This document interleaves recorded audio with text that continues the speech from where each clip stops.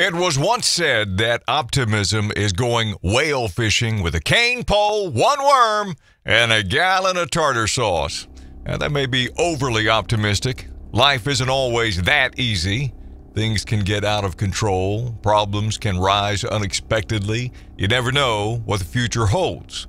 That's where optimism comes in. Optimism means realizing that no matter how bad things may turn out today, there will always be a window of opportunity tomorrow. Winston Churchill once said, A pessimist sees the difficulty in every opportunity, an optimist sees the opportunity in every difficulty.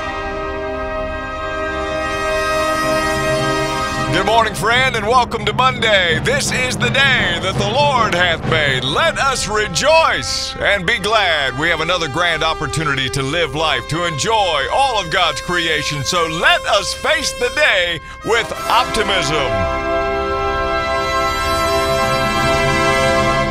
Can wake up today and grumble and complain about everything that's wrong, or you can face today with an optimism that says, whatever comes my way today, I'm going to make it through. I'm going to overcome.